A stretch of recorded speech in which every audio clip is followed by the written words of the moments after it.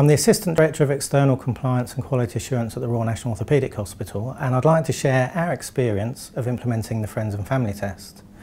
We implemented the Friends and Family Test for inpatients back in December 2012 and over the past 12 months we've seen a real culture shift, not only in the quality of feedback that we're getting from patients, but also in staff engagement. The way we've achieved this is to get the balance right between positive feedback and negative.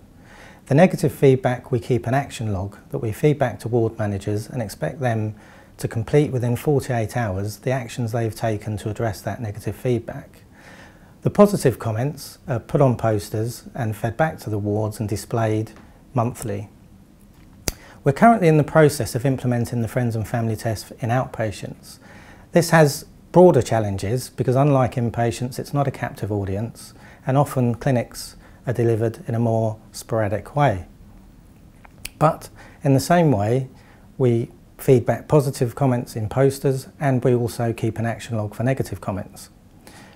We've also implemented the Friends and Family Test on our children's ward um, and the first thing we noticed is that it wasn't often the children that were completing it, it was parents and carers.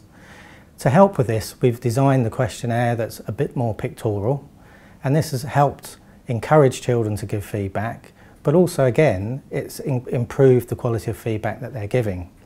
I think the most important thing to remember is that every patient that attends a hospital is a fresh pair of eyes and it helps you to first off see that the services that you're providing are safe but also more importantly that they're caring and effective.